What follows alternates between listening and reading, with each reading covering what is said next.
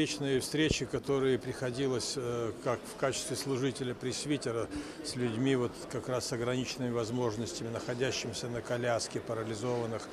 э, с церебральным паралитом, э, параличем от рождения. И вот это до сих пор вот воспоминается для меня как такая внутренняя пустота, когда я не умею увидеть вот в этих людях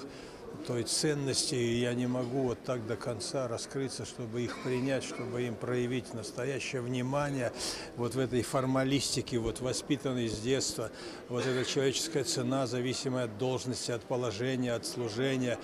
и вот эта вот дистанция огромного размера, она мне вот сообщает такую боль, которую сегодня я должен преодолеть и пройти, и увидеть в человеке вот этот вот пример Ника Вуйчича меня снова и снова поражает. Вот она душа, вот она настоящая сила, вот она любовь и вот она жизнь. Это та духовная субстанция, которую мы не видим часто за мундиром, за какой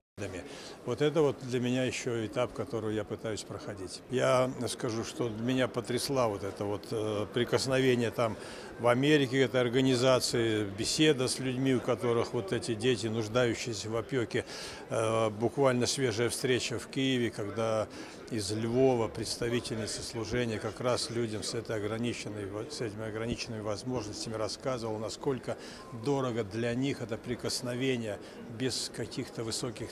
идеалов, а именно человеческое тепло, именно человеческое внимание, именно человеческая любовь. То, чего нам по-особенному не достает.